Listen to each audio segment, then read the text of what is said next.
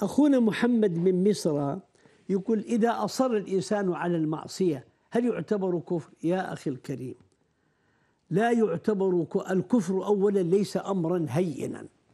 لا تظنوا أن الكفر أمر هين.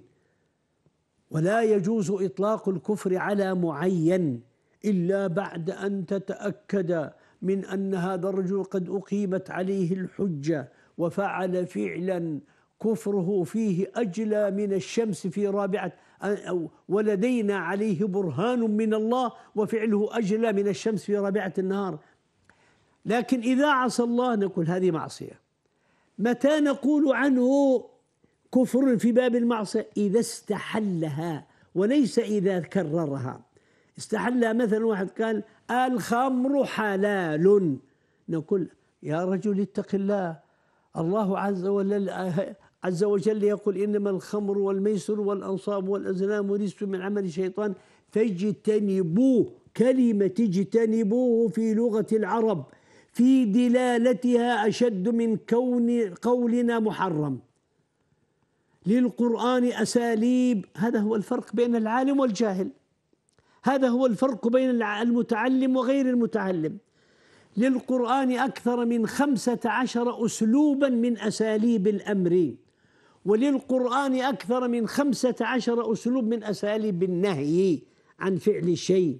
ومنها هذا الأسلوب الذي يعني أشد فاجتنبوا يعني ابتعد عنه من بعيد يعني مو تشربه لا تقترب منه. اجتنبه يعني لا تقترب منه فهو حرام. فالشاهد في الأمر وأقمنا عليه الدليل وفهمنا وفهم ومع ذلك يقول لا الخمر حلال. نقول هنا كفرت لأنك استحليت أمرا معلوم تحريمه من الدين بالضرورة. واحد يقول الربا حلال. نقول يا أخي الله سبحانه وتعالى يقول فإن يقول عن الربا فإن لم آه، تنتهوا فأذنوا بحرب من الله ورسوله. حرام. لا يجوز. قال لا حلال. فكل من استحل امرا معلوما تحريمه من الدين بالضرورة نقول كفر بعد أن نعلمه بعد أن نقيم عليه الحجة بعد أن نفهمه. ما دام عنده عقل يقول يا أخي شوف هذا الدليل وهذا فعل صحابة رسول الله صلى الله عليه وسلم وهذا منطق لغة العرب أنه يجب أن هذا حرام أن الزنا حرام. شرب الخمر حرام الربا حرام. يقول لا حلال حلال حلال. واستحله استحل ما حرم الله. هنا نقول كفر.